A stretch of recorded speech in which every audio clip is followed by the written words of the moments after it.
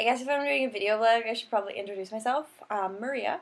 Anyway, I figured I would start doing a video blog because I'm like so different than anything you've ever seen. Oh my gosh, she's back. Just one second.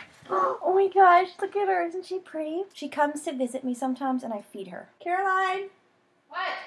come see. Isn't she so pretty? Can we keep her? Maria, where Please. Maria, where did where did you get that? Oh my god, I want to name her Princess Perfect Face.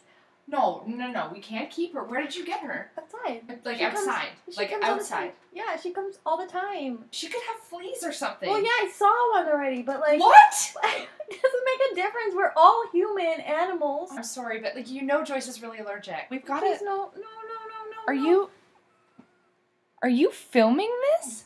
I'm so sorry that she interrupted. That was just n- not how a video blog's supposed to go. Joyce is not allergic to cats. She's just like really scared of them. It's like her secret. Maria? Yeah. Hey. What? Um, I'm, look, I'm really sorry about the cat, but you know we can't keep her, right? yeah.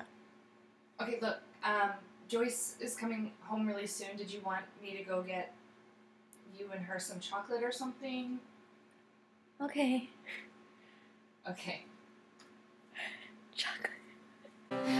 Take me to the mall.